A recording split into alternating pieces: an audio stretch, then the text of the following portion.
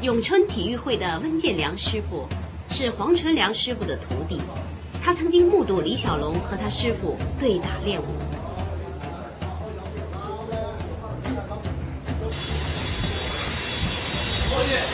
咁啊嗰次喺喺佢九龙塘嘅屋企咧，就做一个示范，就由地上提議話佢嘅手收翻快快出嘅。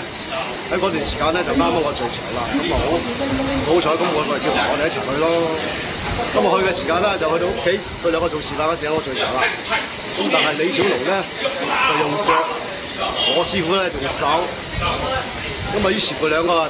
講起上嚟，就一個話佢收手快、出手慢，一個話佢腳快，咁啊於是就喺喺屋企玩啦。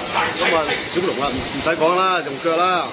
不過我睇到佢隻腳真係好瀟灑，消失六百腳係好快，出翻轉都快。但我師傅嘅針底嗰陣時佢教功夫咧都仲係話接直嘅扯拳，但係佢私底下用嘅咧都係唔直嘅，可以枕人嘅手啊，食人嘅手都係唔直。我最常睇住佢食佢隻腳，攤隻手，粉佢隻腳，都係唔直嘅。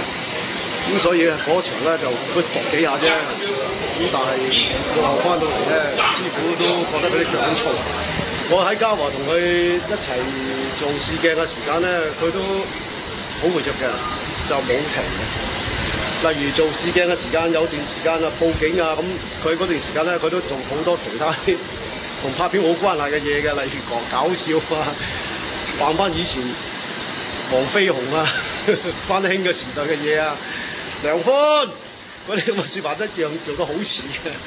佢值得佢佢牙斬嗰啲樣嘢，佢真係食得啲韓飯。詠春嘅功夫都比外來嘅外國人士咧就接受多啲。